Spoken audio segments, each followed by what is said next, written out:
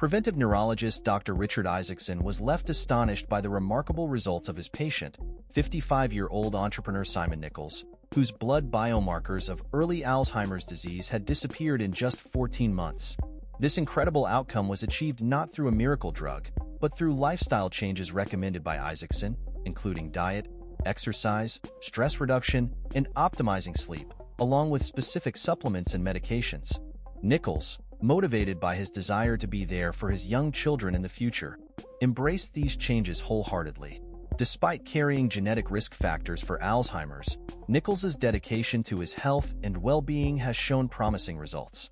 Isaacson's pioneering work in Alzheimer's prevention has highlighted the potential of lifestyle interventions in improving cognitive function.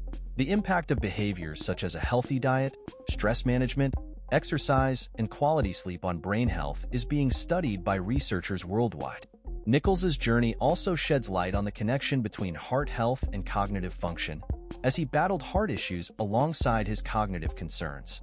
Through a combination of lifestyle modifications, medications, and interventions, Nicholls has made significant strides in improving his heart condition and addressing cognitive risk factors.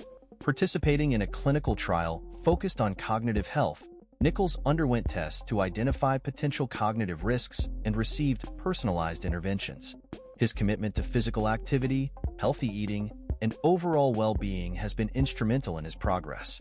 Isaacson's innovative approach to Alzheimer's prevention offers hope to individuals at risk of cognitive decline, emphasizing the importance of proactive lifestyle changes in promoting brain health.